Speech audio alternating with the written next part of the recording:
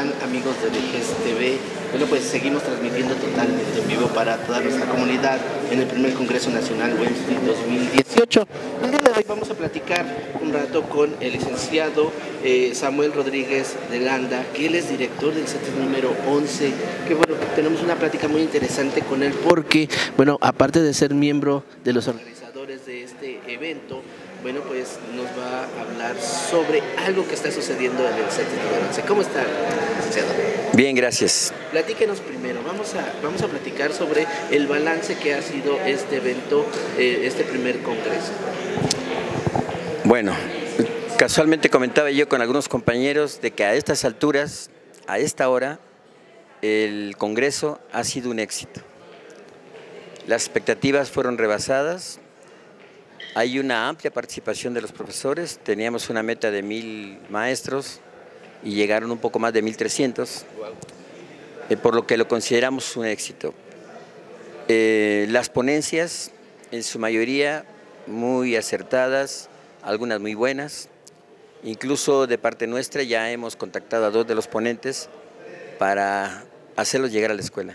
Sobre todo, precisamente porque ustedes este año eh, tienen una celebración muy importante que es el 80 aniversario del CETIS número 11. Sí, efectivamente. El día 23 de abril cumplimos 80 años. Eh, la escuela se fundó el 23 de abril del 1938, justo en la época en que en México había grandes cambios. Eh, la expropiación petrolera, la fundación del Politécnico, y justo en ese tiempo nació también lo que se llamaba la Escuela Artes del Libro, para posteriormente llamarse Escuela Nacional de Artes Gráficas, y ahora nosotros como CETIS 11 somos los herederos de esta Escuela Nacional de Artes Gráficas. El evento será el 14 de noviembre a las 11 de la mañana en el Centro Cultural México Contemporáneo, que se encuentra ahí a un costado eh, de la iglesia de Santo Domingo, de Santo Domingo. En la Plaza de Santo Domingo. Eh, en la alcaldía de Cuauhtémoc. Correcto, aquí en la delegación Cuauhtémoc. Eh, tiene mucha relevancia el 80 aniversario. Nosotros como CETIS 11 nos consideramos el enlace entre lo tradicional y lo moderno. Eh, anteriormente la Escuela Nacional de Artes Gráficas, la mayoría de, su, de sus asignaturas pues eran prácticamente manuales. Sí, claro. ¿Verdad? Pero ahora eh, tenemos, por ejemplo, dos carreras, que es el diseño gráfico digital uh -huh. y los sistemas de impresión en serigrafía y offset. Ambos eh, ya pasamos de lo tradicional a lo digital. Claro. De hecho, acabamos de obtener un equipo que es una máquina de impresión digital, eh, precisamente para mejorar ahí el aprendizaje de los chicos. Entonces, el 80 aniversario es muy importante porque no solo por la gran tradición de la Escuela Nacional de Artes Gráficas, que el legado que nos han dejado maestros, exalumnos, artistas, ahora lo vamos a replicar de alguna manera, porque durante la celebración vamos a llevar a cabo una exposición de grabados, uh -huh. grabados que son aportes de maestros, de exalumnos, de alumnos y de eh, amigos del CETIS 11. Y a lo largo de esos 80 años también me imagino que va a haber la presentación de personalidades que, que formaron parte de ese, de, de, ese plantel. Claro, por ejemplo, pues los que viven. Claro, sí. Tenemos sí, sí, a cuatro exdirectores ah, que los hemos invitado.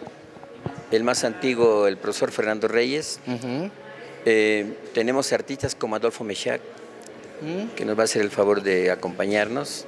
Él nos hizo una donación de su litografía eh, famosa durante el, los movimientos del 68, 68, que se llama Libertad de Expresión, uh -huh. que la hizo casualmente en Chiapas en ese tiempo. Eh, y también eh, tenemos padres de familia que son grabadores y de hecho nos hicieron un regalo en una litografía para celebrar los 80 aniversarios que lo vamos a exponer igual. De la misma manera, eh, tenemos una exposición de fotografía de la actividad cotidiana del plantel y la presentación de tres libros, eh, dos de ellos estrategias de aprendizaje en la materia de química uno y en la materia de biología otro. Y un tercero que se trata de las festividades de Cuetzala del Progreso en el estado de Guerrero. De Guerrero, ajá. Así es de que consideramos que el aniversario eh, nos ata todavía al pasado.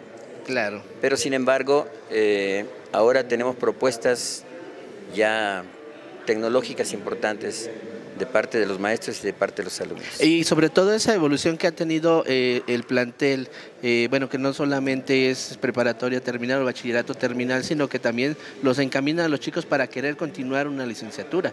Claro. los chicos salen con si así lo desean, con el título de técnicos en diseño gráfico digital o en sistemas de impresión en serigrafía y offset. Ellos pueden escoger incorporarse al mercado laboral o continuar con sus estudios universitarios. Eh, desafortunadamente todavía más que una sola universidad tiene una carrera relacionada con los sistemas de impresión, que es la Universidad Fidel Velázquez, que está en Villa del Carbón, donde hemos tratado de canalizar a nuestros chicos, que en esa universidad realmente pues, son destacados, puesto que cuando entran pues prácticamente se saben la mitad de lo que les van a enseñar. Claro, y volvamos otra vez a esta celebración del aniversario, del 80 aniversario. Para el 12 de noviembre, ¿qué tiene pensado realizar la, el CETIS número Para el 14. Para el 14, perdón. 12, 14 bueno, en sí la celebración es la el, el reconocimiento a la labor de los maestros actuales, del personal que tenemos y el reconocimiento pues a autoridades anteriores que con su labor y su contribución pues han hecho que el CETIS esté a estas alturas este, con ese prestigio, porque además, si me olvidaba decirles que junto con el certificado que obtienen y su título de técnico, algunos estudiantes, los que así lo desean, eh, también cursan un diplomado en sistema de impresión eh, offset en, bajo el modelo de educación dual.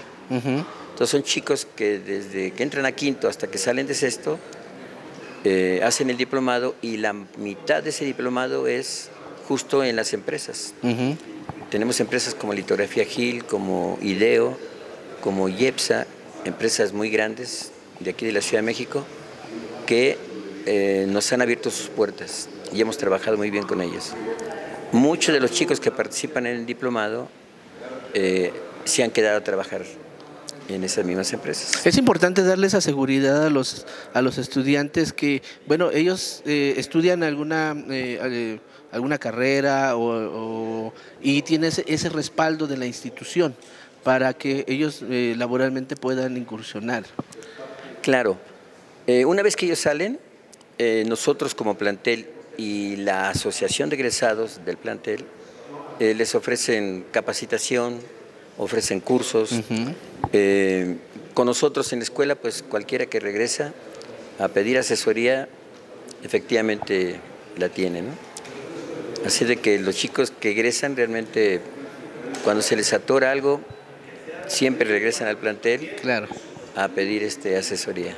Pues no cabe duda que hay una gran tradición en la en el CETIS número 11 eh, y bueno, pues eh, este esta celebración que está en puerta sobre el 80 aniversario. Y bueno, pues muchas gracias, director, por compartirnos esta información. Invitarlos a todos los que nos siguen a través de nuestro canal de DGSTV, bueno, pues a que estén al pendiente de todo lo que realiza este plantel.